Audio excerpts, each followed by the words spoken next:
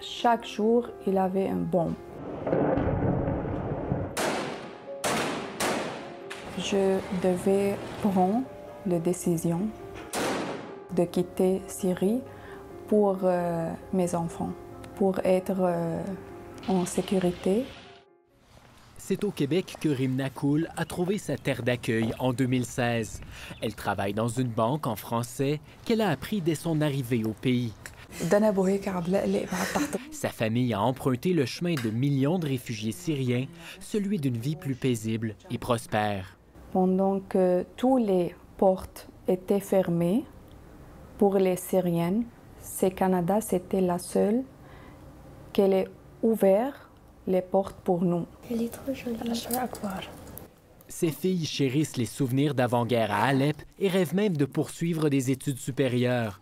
Rime est comblé à une seule exception près. Sa jeune sœur, Nour, est restée derrière au Liban, coincée dans les limbes du système québécois de parrainage. Je ne peux pas travailler, je ne peux pas retourner dans mon pays et je ne peux pas encore me rendre au Canada. Maintenant, ma vie est arrêtée. Je ne peux rien faire. J'ai l'impression d'être en prison. Nour a fui sa ville natale, Alep, en direction de Gaziantep en Turquie, jusqu'au tremblement de terre de février dernier qui a ébranlé le cours de sa vie. Nous avons dormi dans la rue pendant trois jours. C'était très difficile. Et cela a certainement affecté mon état psychologique, ma santé. C'était horrible. C'est comme si je ressentais un séisme à l'intérieur de moi, tout le temps. Je ne pouvais pas marcher, je restais tout le temps assise, je pleurais constamment. Sans abri, Nour et son conjoint fuient à nouveau. Pour éviter les camps de réfugiés turcs, ils traversent la frontière libanaise clandestinement pour s'installer à Beyrouth. Mais le Liban multiplie les rafles pour déporter les réfugiés syriens, qui seraient entre 1 et 2 millions selon les estimations, dans un pays d'un peu plus de 5 millions d'habitants. Nous ne pouvons pas sortir de la maison ou nous promener dans le pays. Je ne peux pas parce qu'il y a des points de contrôle de l'armée ou de la police. Et s'ils m'arrêtent, ils vont certainement m'expulser vers la Syrie.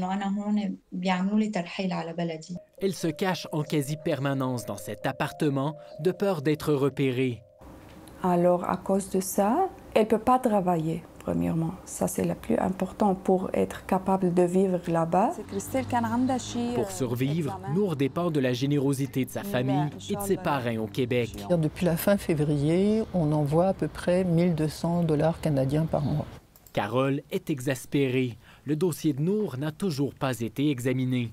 Tout d'abord, on avait euh, déposé en février 2022 un, un engagement formel à parrainer euh, Nour et son conjoint. Le ministère de l'Immigration du Québec, qui approuve les demandes avant de les transmettre à Ottawa, accuse deux ans de retard. C'est indigne de, euh, des conventions internationales. On a aussi un, un devoir d'humanité envers euh, les réfugiés.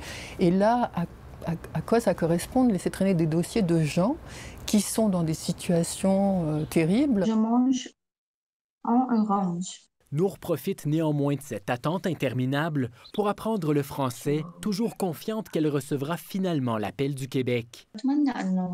Je souhaite que mon dossier de parrainage aille de l'avant et que mes papiers soient en règle pour que, enfin, je puisse vivre, travailler, avoir des enfants, tout en étant proche de ma famille au Canada.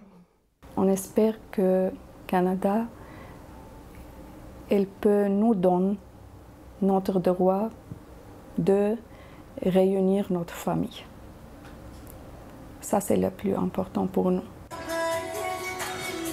Leur vie, en apparence paisible, ne le sera jamais complètement avec le spectre de voir une sœur, une tante, déportée vers une Syrie toujours déchirée.